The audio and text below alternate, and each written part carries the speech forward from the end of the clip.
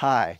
Uh, it's so wonderful for Susan and I to be in uh, Southeast Asia, specifically in this moment in Thailand for the next month, visiting so many of our locations.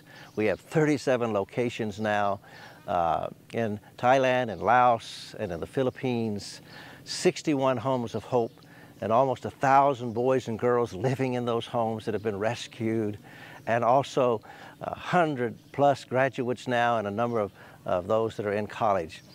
And uh, we're excited. I'm six days in and I've already been to four different locations, uh, just visiting and encouraging. And as I'm in these locations, my heart is deeply touched with three things. One is uh, the need and the pricelessness and the value and the beauty of these children that have been rescued. Secondly, and the real story here is the power of the love of God uh, not, not just the trauma that they've been through and the horrific circumstances, but the power of the gospel and the love of God to heal, to redeem, and to restore and set them through education and learning about Jesus and a good home and a loving environment, set them on a course to find God's will and purpose for their lives and to carry it out. And that couldn't be possible without you. Right now, I'm in one of the locations in Posa, Posai, Thailand. At this location, behind me you see a playground. Uh, to my left here you will see uh, our, the church building.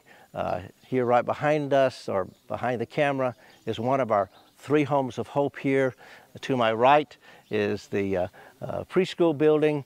Behind that is two more homes of hope and a staff building. In seven of these 37 locations, we're building villages of hope.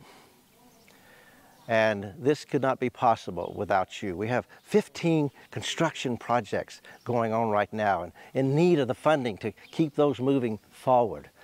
And you are those who love us and pray for us and love and pray for these children. And God uses you to supply the resources, the capital that is needed and, uh, to build and construct the homes and the schools in these villages and also provide the daily needs of these children, plus a high quality uh, education. And I just wanted to say thank you and continue to ask you to pray. The greatest prayer need is that God will help us rescue those and that the power of God will work in their hearts and lives to restore and to redeem them.